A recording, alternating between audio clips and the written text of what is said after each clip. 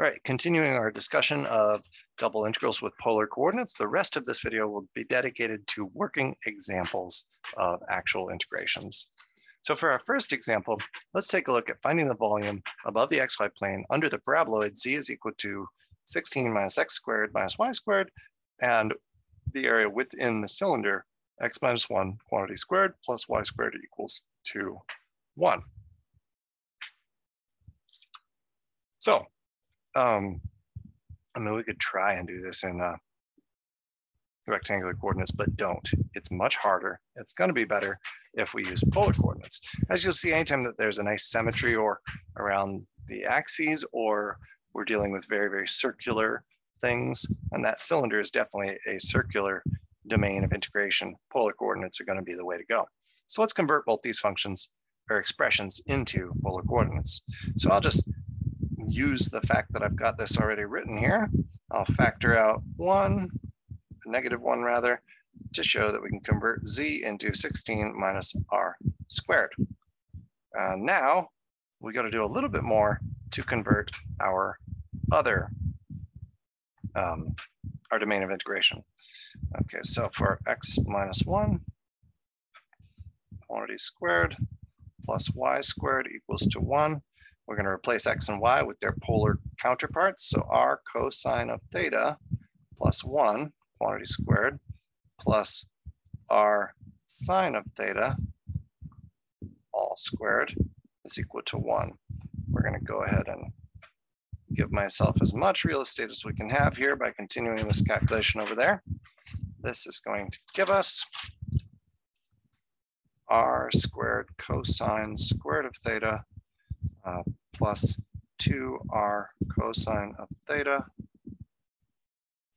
plus 1. Rather sizable mistake here. That is a negative, which is going to make some changes. Negative, negative, positive. All right, that's better. Uh, plus r squared sine squared of theta equals to 1 hey, let's rearrange this and uh, do some sneaky factoring to pull out the Pythagorean theorem. We're going to have r squared factored out of cosine squared of theta plus sine squared of theta, combining those underlined terms above.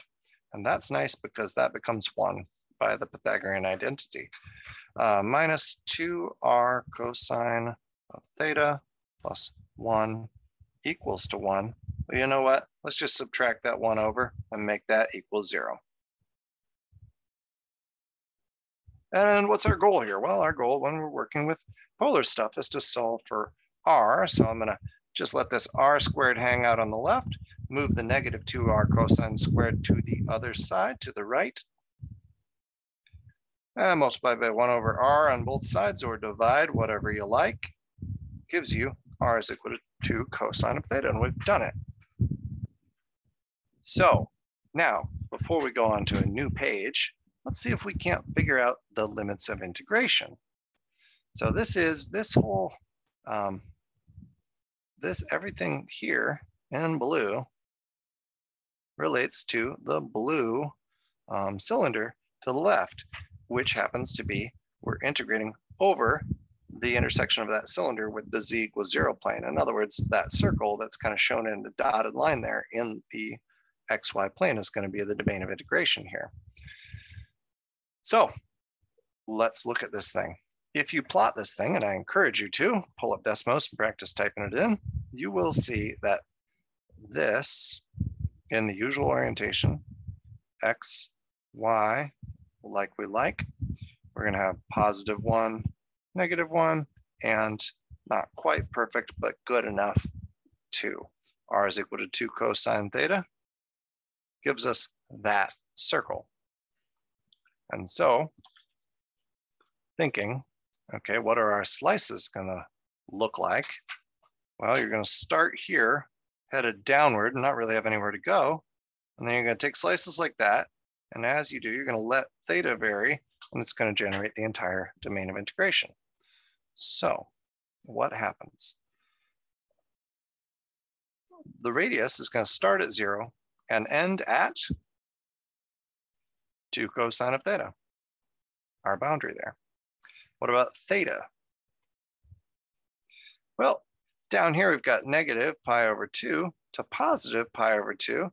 And now this is something you definitely should confirm with Desmos that that in fact does generate the entire um, region that we're after, and it does. Okay, that gives us enough information to set up our integral because here we have our limits of integration. So let's uh, write that down. Our integral is going to be to find the volume above a surface, z is equal to, or f, you integrate over the region, you integrate the surface z with respect to area. So in our case, we're going to let theta vary from negative pi over 2 to pi over 2. And We're to let r vary from 0 to 2 cosine of theta. Uh, now, before we go any further, let's get the entire area differential in there before we go ahead and put our function in. r dr d theta, noting that, sure enough, our limits of integration agree with the order of the differentials and we haven't forgotten our oh so important r that comes along with the area differential in polar coordinates. Now our, our function has become 16 minus r squared in polar coordinates. Okay, now it just becomes a matter of calculating this thing out.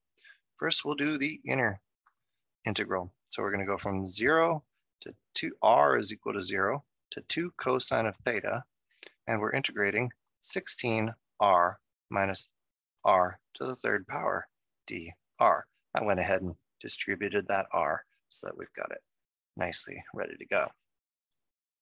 16r integrated gives us eight, uh, 16 over 2, so 8r squared uh, minus 1 quarter r to the fourth power evaluated from r equals to 0 to 2 cosine of theta. All right, let's plug that in and see what we get.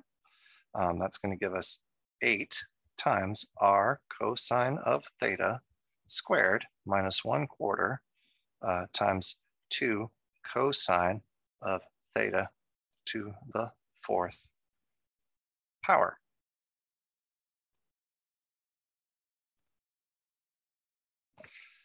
Tidying this up. Oh, wait, we better plug in for r is equal to 0, even though it's going to give us nothing uh, 8 0 to the second power minus a quarter times 0 to the fourth is still going to be 0. So yeah, that's all 0. All right, so what do we get? We get 8r squared cosine squared of theta minus, well, 2 to the fourth is going to be something sizable, um, uh, maybe 16, and, uh, and divide that by 4 to get 4, and that gives us 4 cosine to the fourth power of theta. And that is, that is correct. Okay, so now, wait a minute, that's not correct. What happened here? Ah, here we go. Fixing in red by mistake. That's not r cosine of theta, but rather 2. My 2 became an r, and that caused something to go awry. So 2 squared is 4, 4 times 8 is 32, and that now is actually correct. So we'll continue on a new sheet of paper for our outer integral. Outer, I'm, i want to maximize my real estate. So I'm just putting up here. We're doing the outer integral now. And so my outer integral lets theta vary from negative pi over 2 to positive pi over 2. And it integrates the result we just got, 32 cosine squared of theta minus 4 cosine to the fourth power of theta d theta. Okay, here we go. Firing up the good old half angle formulas. I'm gonna, I wrote my bounds down thoroughly and properly once, my limits of integration. So I'm just gonna leave them off for a while and come back to them because we're gonna have to do some, some algebras and some calculus. All right, so we've got 32 times half angle formulas applied to cosine squares give us one half plus one half of cosine of two theta um, minus four. You know what? That's kind of ugly. So I think I'm going to go ahead and break this into two integrals minus, I'm just going to pop the four outside as well. And now instead of cosine of four theta, I, I know what I'm going to need to do here. I'm going to need to apply the half angle formulas twice. So I'm going to write this as cosine of theta times cosine squared of theta. I think I said cosine of theta. Cosine squared of theta times itself twice. All right.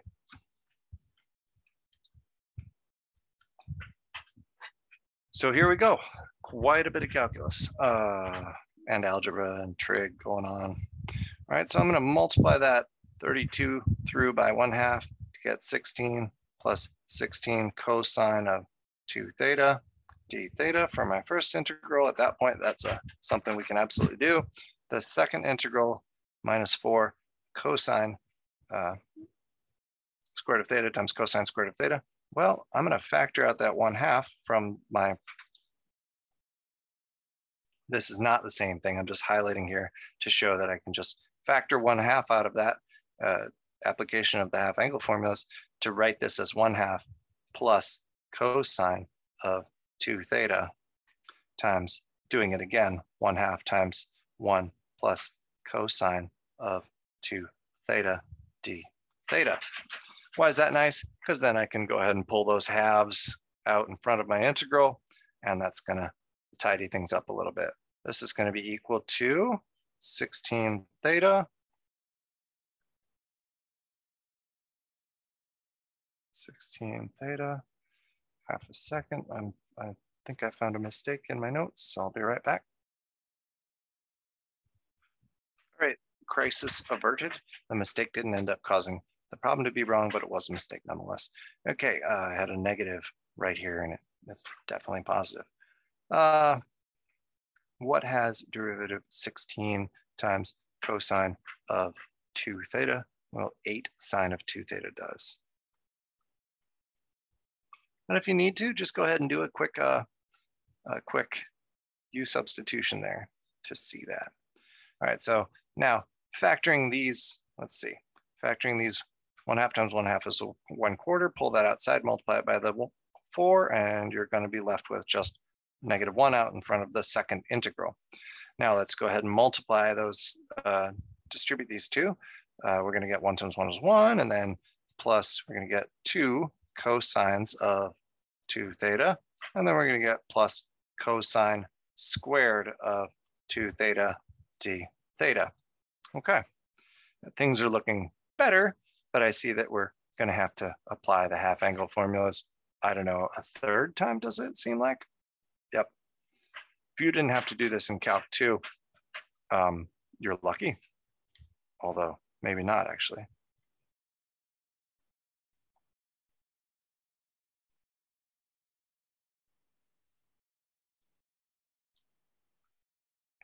All right, once again, um, you slap those in a parenthesis, d theta, uh, one half plus one half cosine.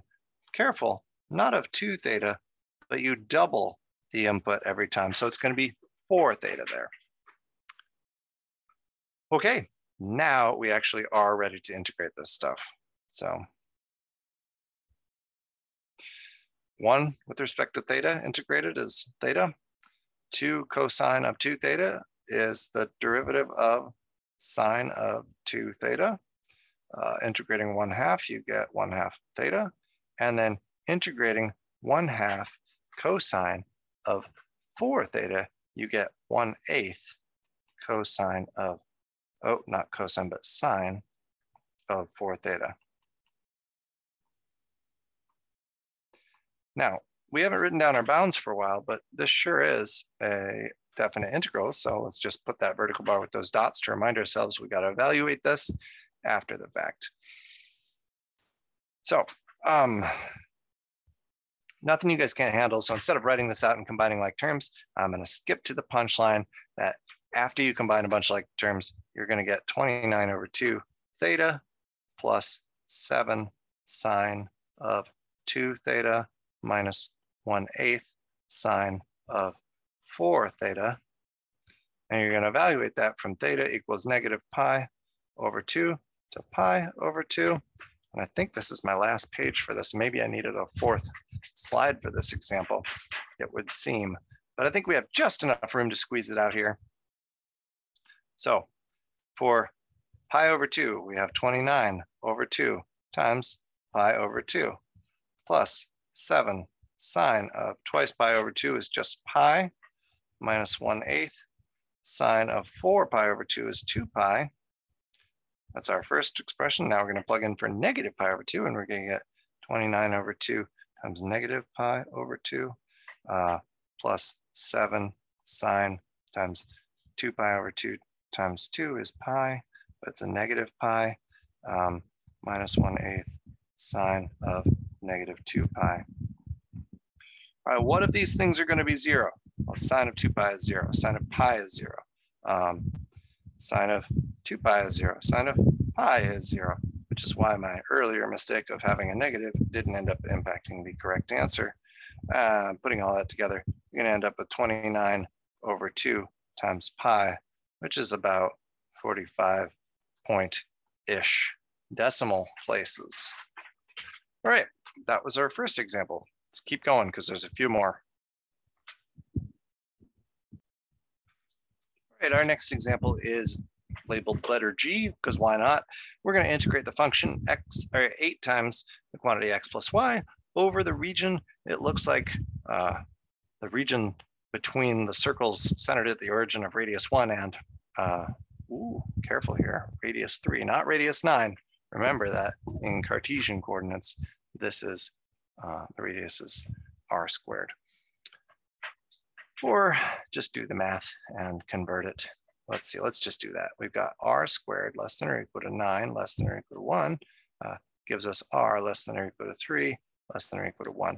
Okay, so there's a little bit of hand waving there. You can't really take square roots or raise to the 1 half power when you have inequalities, but I'm just thinking of the polar grid in the background. And I think you're all savvy enough to handle that as well. Okay, so the last thing is we've got x is greater than zero. So what does this region look like? Okay, so here's our region of integration. Well, we've got radius three, got radius one. So we're gonna have two circles there. We want x to be greater than zero. So x to be greater than zero, not y is greater than zero. Maybe I meant y is greater than zero. I definitely did this problem with y greater than zero. So let's go ahead and just correct that and make that y is equal to zero. All right, with that corrected, what are our limits of integration going to be? Well, we're going to start here, and as usual, we're going to let theta vary. So I think theta starting at zero and going to pi seems like a pretty good choice. And what are our slices going to look like? I don't want the red bit. I just want the blue bit. And so it looks to me like R is going to vary between 1 and 3. So that's correct. We got R varying between 3 and 1, and theta varying between pi and 0 in the other order.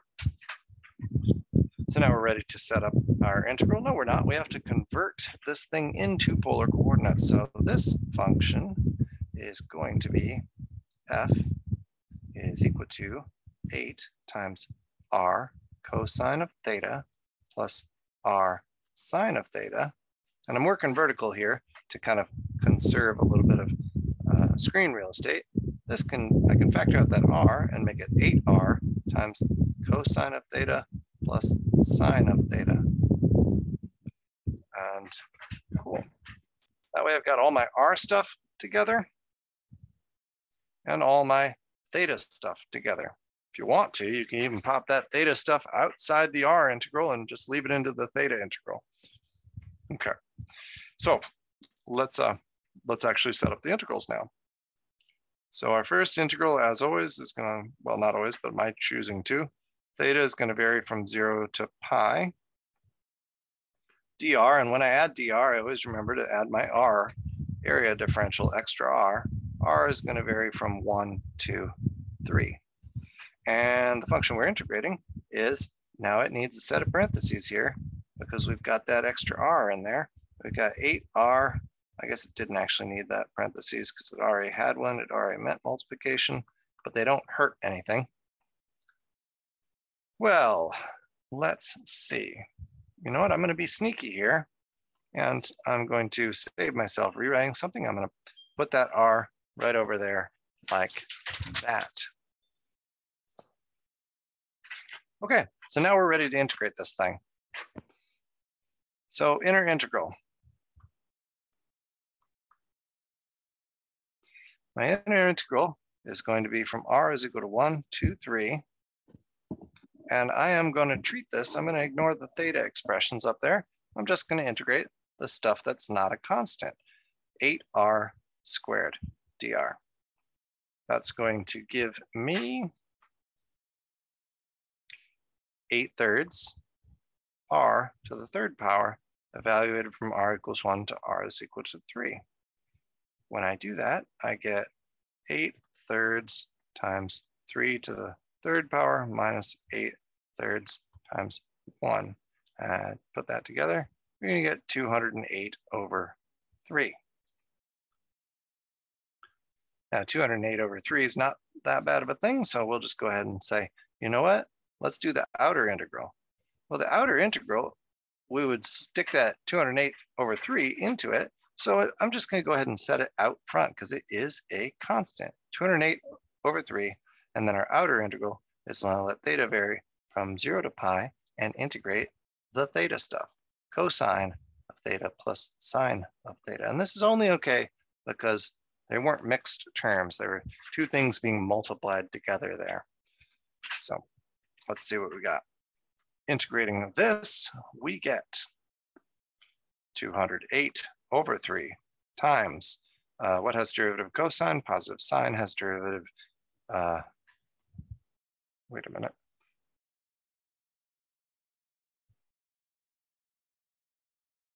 Yeah, cosine has derivative positive sine, minus, um, what is derivative of sine? Well, sine is sort of the derivative of cosine, so negative cosine of theta. We're going to evaluate this stuff from theta equals zero to pi.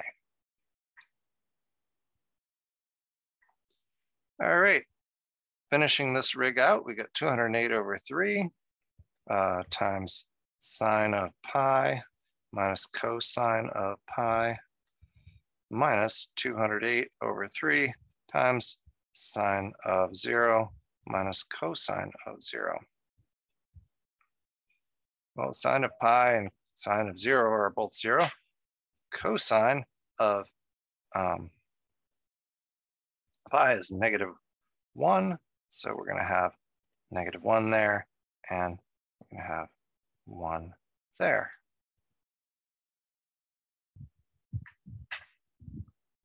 Okay, so that looks like we're gonna have 208 over three.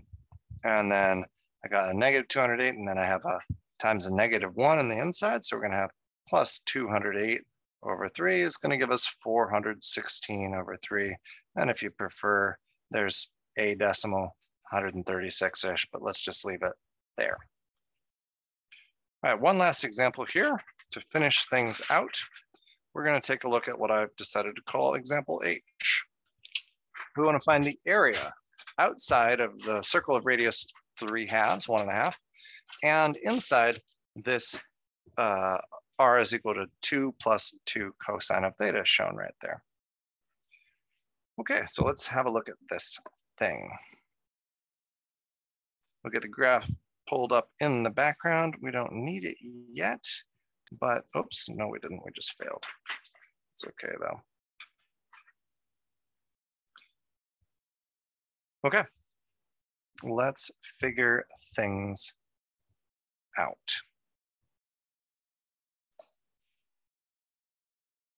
Well, so let's uh, let's just look at our picture and, and decide how to proceed here. So what is a slice going to look like? Well, we don't want the bit inside of well, first things first, I, I think we should just use symmetry. I think instead of finding this entire thing, we should find this area and double it because we're after the, the stuff inside the blue guy, but outside the red guy. Okay, so that helps. So a slice is gonna look like it's gonna come out from theta equals zero, and I'm only interested in the blue bit, the bit that's inside this, this region. Well, so the lower part of that, that is r is equal to 3 halves. The upper part of that is r is equal to 2 plus 2 cosine of theta. So we've got that. We know now that our, our r bounds are 3 halves less than or equal to r less than or equal to 2 plus 2 cosine of theta. So now we have to tackle our theta bounds.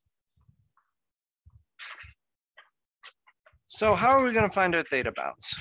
Well, I, the lower bound we can just do from inspection. It's definitely theta equals zero. So lower theta equals zero. Theta starts out at zero. Let's make that a theta. So now we got to find our upper bound.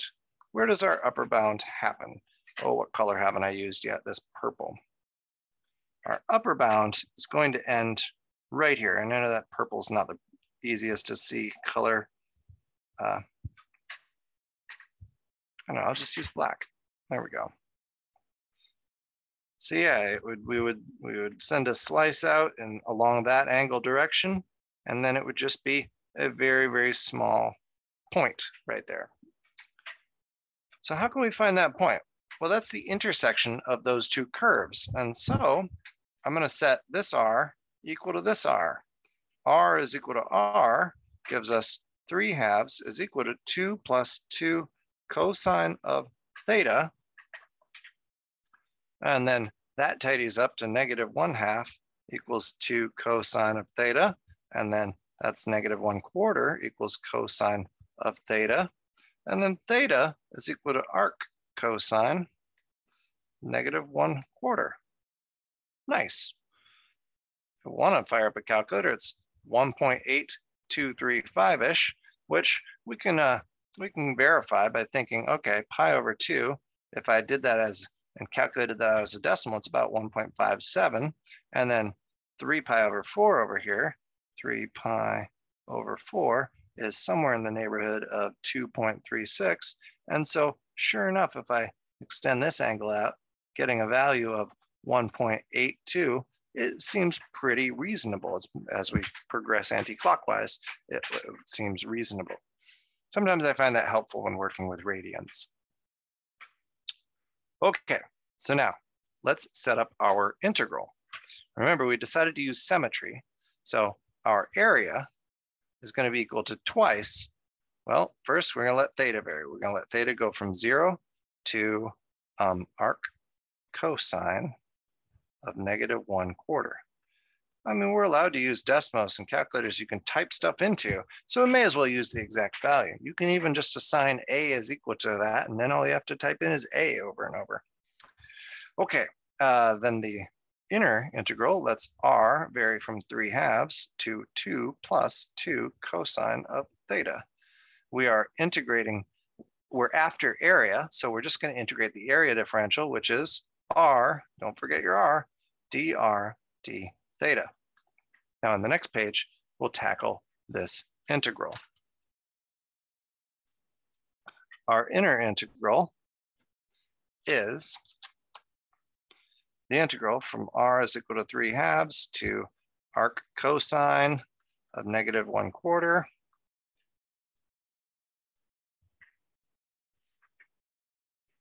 of r dr, giving us 1 half r squared evaluated from r is equal to 3 halves to um, arc cosine of negative 1 no, no, no, not arc cosine of negative. I'm sorry, guys. Let's uh let's fix that. It's not arc cosine. It's definitely not. It's r is equal to two plus two cosine. There we go. Two plus two cosine of theta. Figuring that out, we got one half times two plus two cosine of theta squared minus one half times three halves quantity squared. That's going to give us Well, this is similar to the last example we saw where we're going to need to distribute some stuff out. And so I'm going to do a little bit of the algebra on this page to kind of get this thing ready for the second integral, the outer integral. So 9 eighths there. And then, well, what else we got? We could times that. That We could uh, just go ahead and tidy things up here. That's going to become a 2. That's a 4. And that's a 2 now. And then from there, we're going to I can combine that two and that nine eighths negative to get 23rd over eight plus four cosine of theta plus two times one half plus one half cosine of two theta. Again, just preparing for the integration. I know I can't integrate cosine squared. I have to use the half angle formulas. And so I'm gonna do it that way, getting it ready. Uh, so what else can we do? Um, well, we can make these both one. And then 28, uh, 23 eighths plus one is going to give us 31 eighths plus four cosine of theta plus cosine of two theta. And that's our new integrand for our outer integral. So let's put that little guy in our outer integral and our outer integral So our outer integral, this is the one where we're going to let theta go. Theta equals zero, and it's going to range from zero to arc cosine of negative one over four. We're going to integrate 31 eighths plus four cosine of theta plus cosine of two theta d theta. Now you've seen me do this integration enough that we're going to take some skips a little bit. Uh, 31 eighths times theta plus 4 sine of theta plus 1 half sine of 2 theta, all evaluated from uh, theta equals 0 to arc cosine of negative 1 quarter. Okay, so the way I'm going to do this is arc cosine of negative 1 quarter is not a common angle. It's gonna, we're just going to work with decimals. So this would be one where you can't get a nice exact answer uh, or that exact answer would just be in terms of arc cosine of negative a quarter. So rather, I'm going to define this to be f of theta using Desmos, and I'm going to replace theta with x. And then I can just type for the evaluation f of arc cosine of negative one quarter minus f of zero. And that will give me something to the tune of, I don't really mind, but it's going to give me 10.6969 rounded off. It goes on continuously forever. Uh, not continuously, but just forever. But remember, was that the entire integral? No, our integral was double this, conclusion. Area equals times our integral. Well, the result of our integral was this expression. I'm going to name it b. And so it's 2b, and it's in the neighborhood of 21.3938. And if we go up here, we can kind of kind of convince ourselves that that's reasonable. So this B area is this shaded area. So let's kind of count the squares. One, two, three, four complete ones, uh, five mostly, six, seven. Okay, I, I kind of buy that that's about 10. Uh, and uh, then if you double that, it's going to be something in the neighborhood of 20. So it seems fairly reasonable. Now to conclude this, I just want to fire up this calculator and show you how you can use Desmos to evaluate complicated expressions real quickly. So yeah, as you see down here in this field, sorry, the keyboard's gonna pop up. Let me get that out of there. You see that I, I took the result of the, the outer integral before I doubled it and wrote it out as f of x is equal to that stuff. And then I could just plug in, I, I didn't, I wanted to, I had a is equal to arc cosine of negative one fourth before. So the result of that is gonna be b is equal to f of a. So that's f of arc cosine of negative quarter minus f of zero. And there's that calculation. And those labels should match what I did on the slide. And you see that you get 21. And if you count up those squares, you could probably convince yourself that 21 is a reasonable answer. And that brings this lecture to a close.